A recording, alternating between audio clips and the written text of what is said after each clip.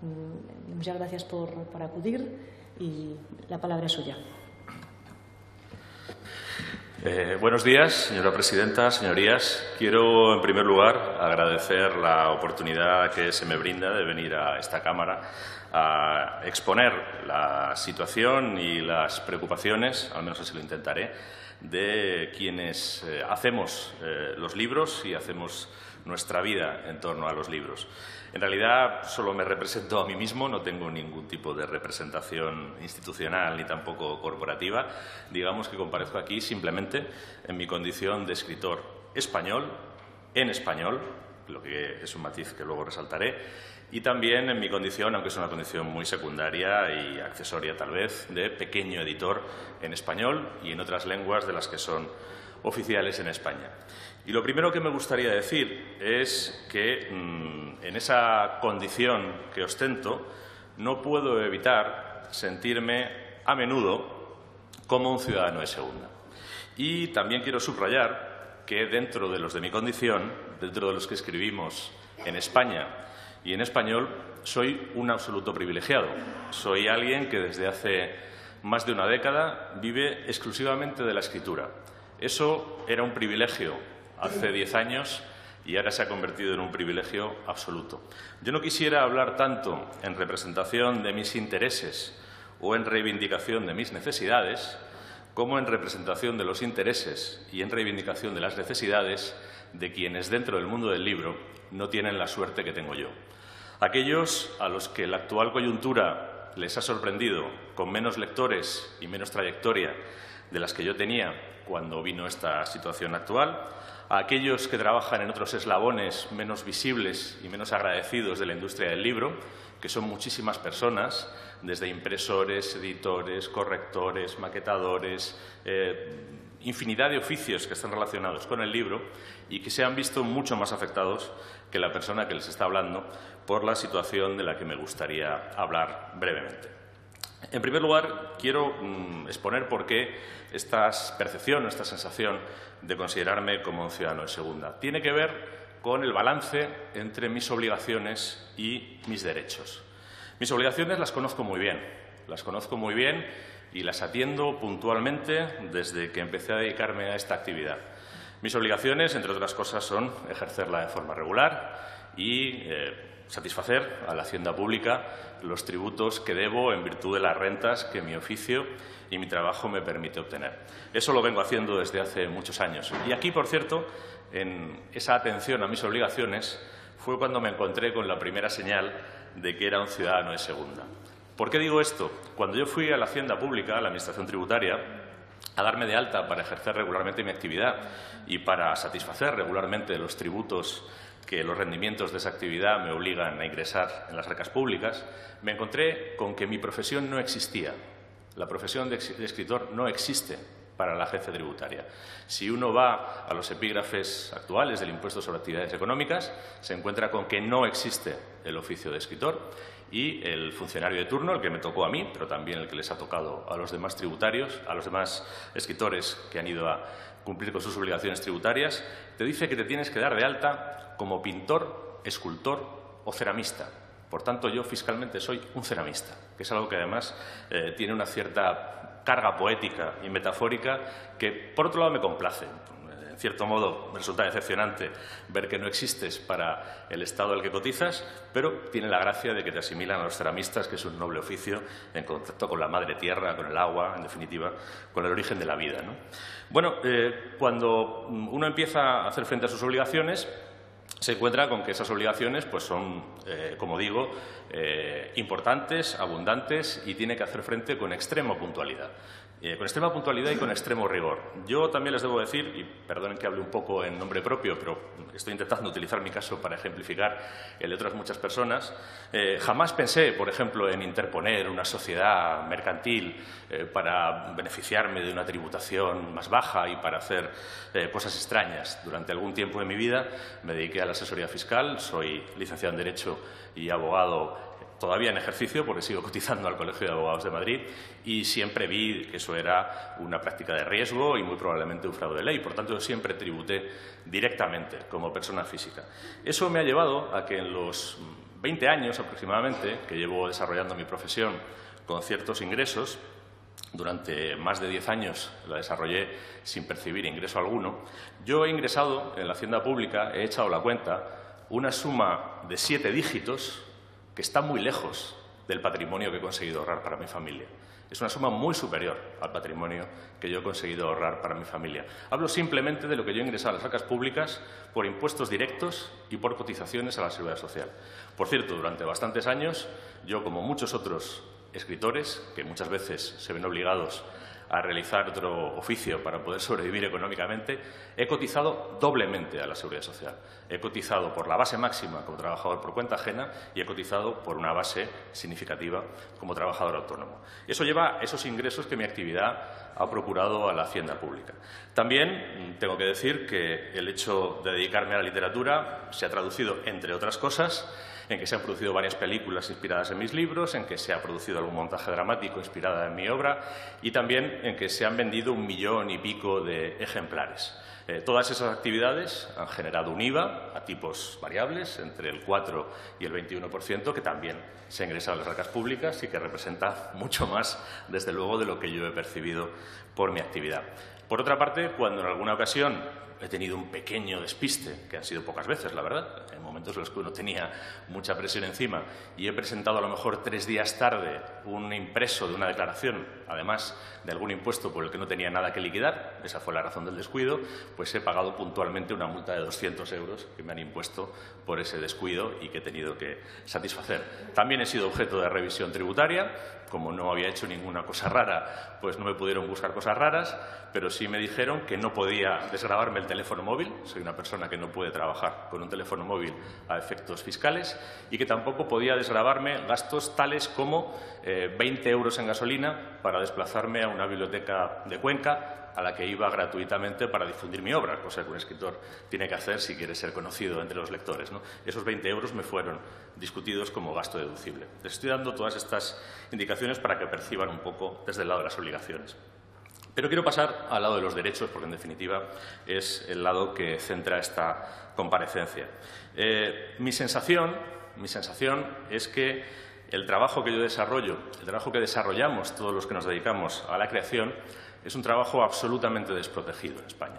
Es un trabajo cuyos derechos son nominales, son derechos que respetan determinados agentes, los agentes profesionales, eh, los editores, eh, los libreros, eh, bueno, pues las personas que están en la cadena del libro y que respetan también las personas de buena voluntad.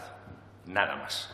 Para darles una imagen de esta situación, yo podría haber traído alguna de las muchas estadísticas que existen sobre la piratería digital, que es de lo que estoy empezando a hablar y que es lo que ha producido la gran lesión en la propiedad intelectual en España en los últimos años. Y en el sector editorial, en el sector del libro, desde 2009 para acá, básicamente. Eh, pero entrar en cifras de la economía informal siempre es mm, polémico, peliagudo y, siempre discutible. ¿no? Yo les propongo un muy sencillo ejercicio que creo que es muy gráfico y creo que todos ustedes pueden hacer porque todos dispondrán de conexión a Internet. El ejercicio es tan sencillo como escribir Lorenzo Silva, libros, EPUB, en un buscador cualquiera, puede ser el de Google o cualquier otro alternativo. Es una búsqueda absolutamente genérica, como podrán ver. Mi nombre, el de un escritor, lo que ese escritor hace, libros, EPUB, que es el formato de libro electrónico más difundido en el mundo. Si hacen la búsqueda, comprobarán que salen decenas de páginas decenas de páginas, literalmente verán muchas pantallas de Google pasar, en las que prácticamente todos los resultados son sitios de descarga ilegal o de descarga informal o de descarga a través de personas que no tienen los derechos para ofrecer ese contenido. Encontrarán sitios, yo he hecho la prueba esta mañana, creo que en la primera página encontrarán un sitio donde ofrecen 30 libros de golpe. Yo a estas alturas he publicado aproximadamente 60 libros, voy por 59. Hay sitios donde una persona, que no sé quién es, se arroga el derecho a dispensar gratuitamente para el usuario, supongo que algún tipo de provecho para él, la mitad del trabajo de toda mi vida. Y frente a eso, ¿qué es lo que yo puedo hacer? Pues lo que yo puedo hacer en este momento, en otros momentos no he podido hacer absolutamente nada, es, eh, por un lado, animar en el caso de tener editores con medios para hacerlo, en mi caso como pequeño editor, que tengo muy pocos medios, encargarme yo personalmente de rastrear por la red todas las personas que hayan podido tener la ocasión, la ocurrencia de apropiarse mi trabajo todo mi trabajo o parte de mi trabajo. Y penosamente ir a los navegadores que vayan mostrando esos resultados para denunciarles con arreglo a la ley estadounidense, no a la española, que no la reconocen, esa apropiación de mi propiedad intelectual. También puedo ir a los sitios donde están alojados para, penosamente, con una serie de procedimientos que me imponen un montón de cargas formales, formularios y todo tipo de información que tengo que facilitar sobre mí, eh, bueno, pues al cabo de unos días se removerá ese enlace que aparecerá instantáneamente en otro sitio. O bien puedo ir a un procedimiento administrativo establecido recientemente por la ley española y que conocerán que en varios años de aplicación creo que ha determinado el cierre de seis páginas. De seis páginas. ¿eh? Les digo que solo si buscan mi nombre, el libro SEPU, van a encontrar cientos de páginas, solo de este señor que les está hablando. Bueno, ese mecanismo administrativo ha determinado el cierre de seis páginas. Ese es el control. Eh, ¿Cuál es el resultado de ese control? Lo que muestra esa búsqueda. Ninguno la normalización absoluta de la apropiación directa de la propiedad intelectual ajena y la puesta a disposición de terceros con o sin lucro, con lucro directo o indirecto, con lucro palpable o encubierto en muchos casos. Esa es la situación. Esa es la situación que además creo que es interesante decir que tiene consecuencias. Y tiene consecuencias no solo para las personas que trabajan en la cadena del libro. Les puedo dar un pequeño, una pequeña panorámica de lo que son esas consecuencias para las personas que trabajan en la cadena del libro.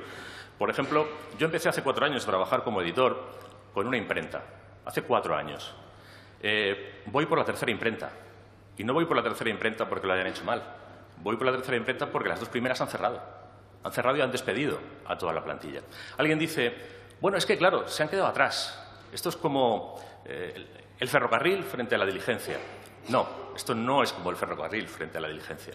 Esto es como el ferrocarril frente a la diligencia si a la diligencia la interceptaran sistemáticamente bandidos en el camino. Es decir, no estamos hablando de una ventaja tecnológica, estamos hablando de una competencia de un producto a precio cero frente a otro producto que no tiene precio cero porque tiene unos costes. Si hablamos más arriba en la cadena del libro, las editoriales y librerías que han cerrado en España en los últimos ocho años se cuentan por cientos.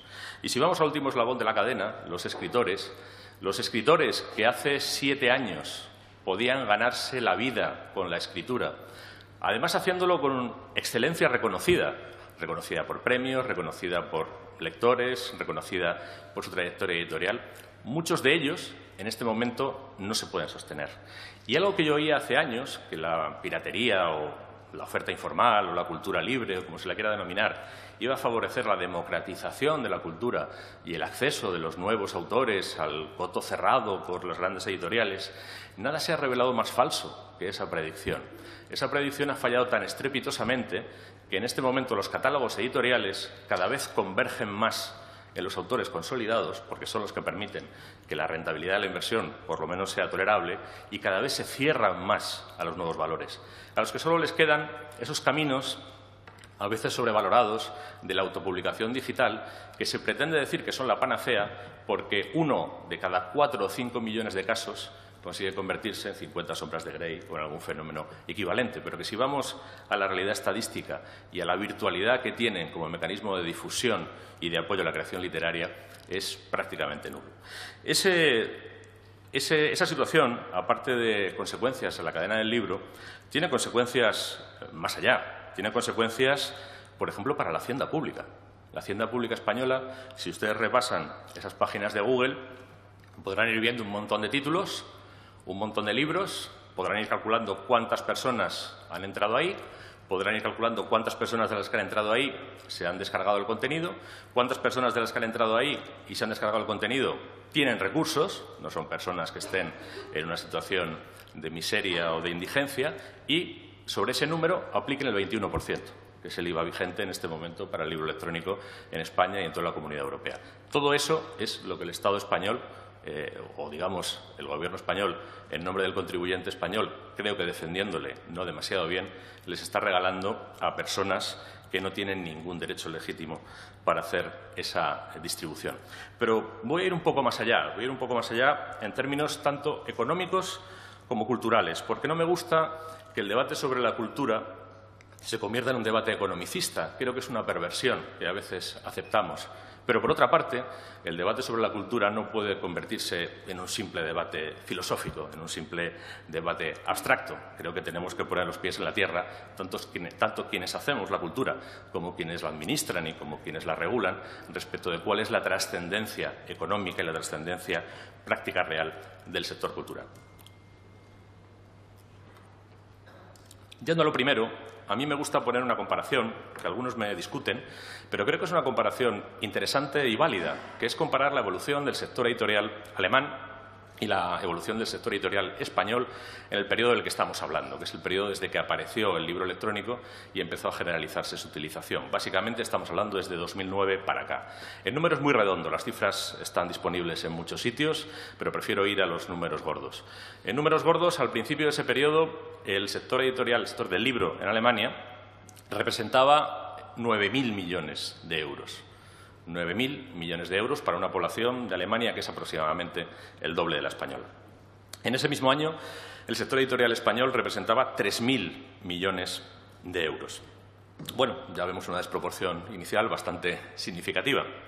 Eh, la población alemana solo es el doble y estamos hablando del triple.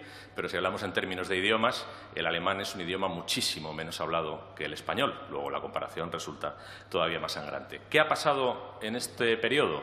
Pues también, de nuevo, en números gordos. El sector editorial alemán se ha mantenido en el nivel de los 9.000 millones de euros, con pequeñas oscilaciones, unos años al alza, otros años a la baja. La aparición del libro electrónico y la generalización de los artefactos de lectura más populares, me refiero a las tabletas, a partir del año 2011, lo que supuso en Alemania fue un incremento de la facturación del sector del libro, no un decremento, es decir, apareció un nuevo sector económico y un nuevo producto y eso consiguió que el sector del libro facturara más de lo que facturaba. En España, lo que se ha producido en esos años es un descenso del 33%, es decir, de 3.000 millones, en números redondos, a 2.000 millones de euros. Se ha perdido un tercio de ese sector económico. Se ha perdido los impuestos que pagaba, los puestos de empleo que generaba, etcétera, etcétera, todo aquello que ustedes quieran añadir. El sector del libro alemán, que triplicaba el español, ahora más que lo cuadruplica, con solo el doble de población y con un idioma que es un idioma mucho menos hablado y mucho menos difundido en número de hablantes nativos en el mundo, como la quinta parte aproximadamente del español.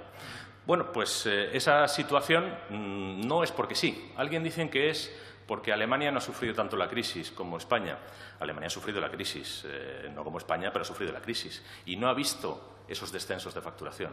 ¿Cuándo se produce el abrupto descenso de facturación en el sector del libro español?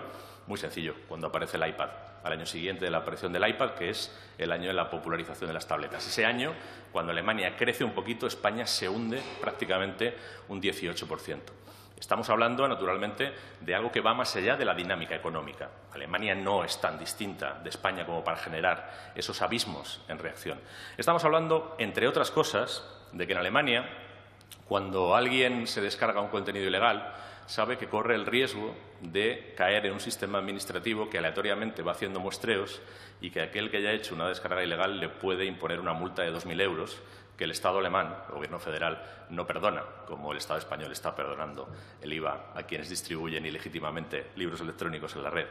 Sabe, además, que ese sistema está implantado en todas las escalas y en todos los niveles de la población.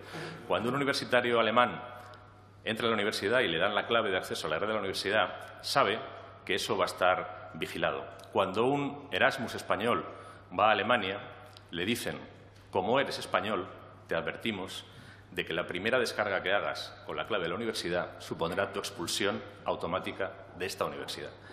Lo que sucede en España es que hay varias universidades, algunas muy prestigiosas y de las mejor situadas en el ranking, que han sido condenadas por piratería, las universidades. Ese es el término de comparación.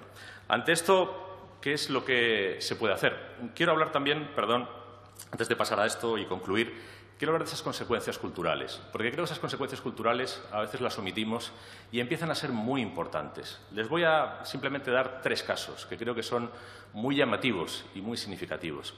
El año pasado, como ustedes supongo que bien saben, una escritora bielorrusa, Svetlana Alexievich, recibió el Premio Nobel de Literatura. Svetlana Alexievich, si las cuentas no me fallan, discúlpenme, hablo de memoria, es autora de unos ocho o nueve títulos. En ese momento, en España, solo había un libro traducido de Svetlana Alexievich. ¿Por qué solo había un libro traducido? Eh, ¿Qué libro era además? Voces de Chernóbil, un libro que tenía, digamos, un reclamo que era el de la energía nuclear o el de Chernóbil, que es un hecho muy conocido. Los demás excelentes libros de Svetlana Alexievich, probablemente una de las mejores escritoras vivas, no habían sido traducidos al español y seguramente no lo habrían sido de no recibir el premio Nobel. ¿Por qué? Porque sus traducciones al español no son rentables. El español ha empezado a ser un idioma en el que las inversiones en edición de libros y en traducción de libros, que son costosas, se pierden, no se pueden recuperar y, por tanto, no se hacen. Hace dos o tres años, tampoco recuerdo exactamente, yo formaba parte de un jurado internacional del que sigo formando parte, que es el premio Kafka, que se otorga en Praga, eh, República Checa, por la Fundación Sociedad Kafka. Eh, me encontré con que en la discusión de todos los años aparecieron un montón de autores propuestos por mis colegas franceses, alemanes, italianos, checos, que no estaban traducidos al español. El ganador de ese año, que fue el autor chino Jan Lianke, traducido al francés, traducido al italiano, traducido al alemán, traducido al checo, no estaba traducido al español. Para poder juzgar y para poder votar afirmativamente como hice, tuve que leerlo en inglés. Jan Lianke se acaba de traducir ahora al español por Galaxia Gutenberg, que es una editorial muy particular, eh, muy exquisita y con una difusión minoritaria, mientras que en las otras lenguas era un autor traducido, normalmente difundido y conocido hasta el extremo de poder optar a un premio, el premio Kafka, que es antesala del premio Nobel de Literatura. No estoy hablando de un premio cualquiera de pueblo. ¿no? Ese libro no estaba disponible para los españoles. Hace, y esta es la tercera historia que les contaré, hace un par de años eh, hice una reseña en Internet sobre un libro magnífico sobre Oriente Medio que se llama A Line in the Sand, del periodista británico James Barr, que creo que es uno de los mejores eh, resúmenes que hay respecto del origen histórico del actual mapa de Oriente Medio a raíz del desmoronamiento del Imperio Otomano. Bueno, lo comenté en extenso en un artículo eh, que publiqué en Internet y pedí disculpas a los lectores porque el libro no estuviera disponible en español, pero el libro no estaba disponible en español, me parecía interesante y por tanto lo comenté. El autor me escribió, me escribió y me preguntó ¿Por qué su libro, que estaba traducido en Italia, que estaba traducido en Francia, que estaba traducido en Alemania, que estaba traducido en Holanda, no estaba traducido en España? Y le dije, te lo puedo explicar en tres tweets. No le reproduciré los tres tweets, pero creo que el sentido se entiende perfectamente. Bueno, creo que estamos ya ante un empobrecimiento cultural de nuestras librerías ante un empobrecimiento cultural de nuestra población. Hacia adentro, porque hay autores españoles que no pueden emerger, y hacia afuera, porque hay autores de fuera que no pueden venir. Ante esto, ¿qué hacer? Aquí me gustaría hablar de la segunda parte de esta comparecencia y con esto cerrar para no exceder mi tiempo. La biblioteca. Hay quien piensa que la cultura libre entendida por esta oferta informal, ilegal e ilegítima es la manera de garantizar el acceso universal a la cultura. No se engañen, es la manera de garantizar el acceso indiscriminado y muchas veces absurdo a la cultura. Yo he ido en un avión, me han pasado, porque jamás me sacó billetes en esa categoría, a business y me he sentado al lado de una persona que llevaba un iPad de mil euros, 5.000 euros en ropa encima y se jactaba de los 3.000 libros piratas que tenía cargados en su iPad. Yo estoy absolutamente a favor de que cualquier español sin recursos acceda gratuitamente a todos mis libros. Estoy dispuesto a regalárselos. Y no hablo teóricamente, lo he hecho y tengo testigos. He regalado cientos de libros a escuelas, bibliotecas, prisiones y lo haré todas las veces que haga falta. Y estoy dispuesto a conceder, si un día se organiza una biblioteca pública digital digna de ese nombre, una licencia ilimitada para que todos mis libros sean leídos por aquellas personas que no tienen recursos para adquirirlos.